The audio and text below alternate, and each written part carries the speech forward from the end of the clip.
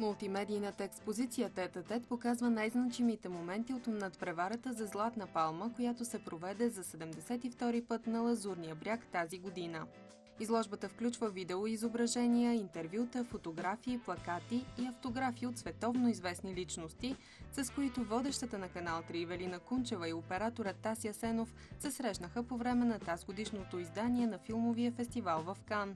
За мен е истинско удоволствие, че имах възможността заедно с оператора Таси Асенов да представим нашата изложба, която носи името Тета Тет, мултимедийна експозиция в рамките на фестивала Любовта е лудост.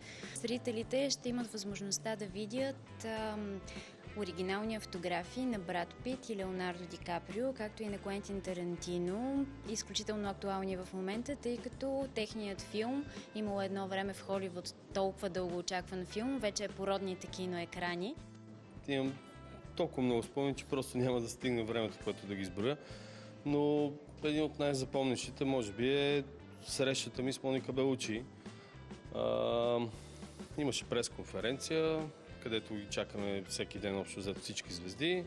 Съответно и поисках един автограф, обаче нямах нищо в себе си, на което ми се разпише и по едно време ми хрумна идеята просто да кажа, нали, тя ме попита къде искате автограф и казах близо до сърцето ми. Ми се разписа на ризата. Това за мен е нали, до момента един от най-големите ми така, спомени, които ще ги, може би ще го помня цял живот. Режисьорът Илия Костов, който представя своя нов филм Пътуващо кино в рамките на фестивала Любовта е лудост, бе очарован от изложбата на екипа на Канал 3 и дори им предложи да напишат книга. Чудесна изложба, защото тя е част от кинопроцеса. Нещо, което е преди филма или след филма. Нещо, което може да направи популярно това изкуство.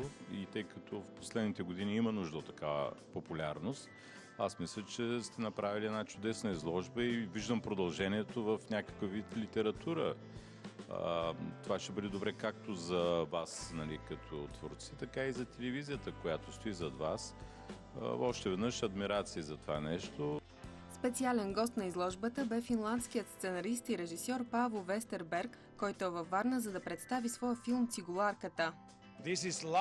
Това е една прекрасна, наистина прекрасна изложба, която са показани толкова много личности, на които аз се възхищавам като артисти. Сред тях е Хавиер Бардем, който участва в последния филм на иранския режисьор Азгар Фархади. Това са толкова много вдъхновяващи хора, с които вие сте имали честа да се срещнете по време на вашата кариера. Смятам, че това е много интересно. Мултимедийната изложба Тетатет можете да видите в рамките на фестивала Любовта е лудост в град Варна до 1 септември.